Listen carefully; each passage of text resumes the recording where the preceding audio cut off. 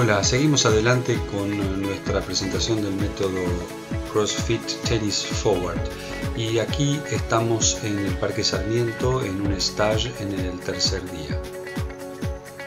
Hoy estamos trabajando con eh, un grupo de chicos y el primer ejercicio que hemos hecho es el de obligarlos a invertir el, la derecha, el drive, para obligarlos a tener un buen anclaje y posicionarse en la línea de impacto correctamente.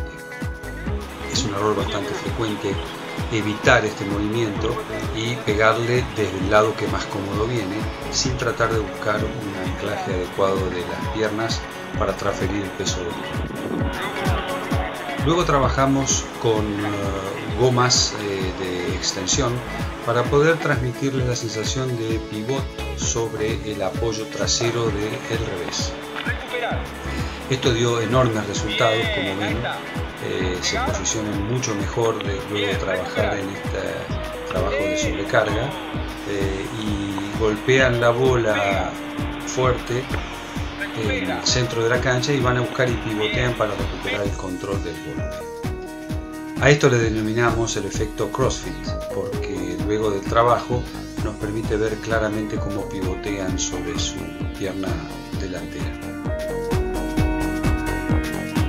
Luego hemos hecho una progresión de saque con uh, un primer ejercicio básico de lanzamiento, percutiendo bien la pelota sobre el piso para que tengan la sensación de que el lanzamiento es hacia abajo y no hacia arriba, cosa muy frecuente en los niños por uh, la escasa altura.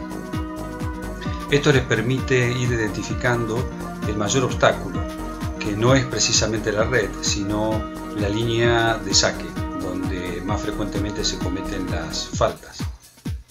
Luego lo llevamos hacia atrás eh, y le damos la raqueta para que realicen el mismo trabajo, golpeando como si fuera un saque de ping pong, pero siempre golpeando hacia abajo. Luego trabajamos en lo que es el lanzamiento de la pelota para tratar de lograr la mayor angularidad posible al momento del impacto. Luego vamos a trabajar sobre el tema del equilibrio y la transferencia del peso del cuerpo. Esto es muy importante porque los niños no tienen tanta fuerza como los adultos en los brazos y entonces tienden a golpear eh, simplemente con el equilibrio del cuerpo y este equilibrio no siempre es el mejor. Allí trabajamos con una pelota debajo del pie delantero que los obliga a mantener el peso del cuerpo atrás mantener el peso del cuerpo atrás hasta el momento del impacto, están obligados a transferirlo hasta último momento. Y ahí vemos cómo la velocidad de impacto se incrementa notablemente. Bueno, esto ha sido el trabajo del tercer día. Mañana vamos a continuar.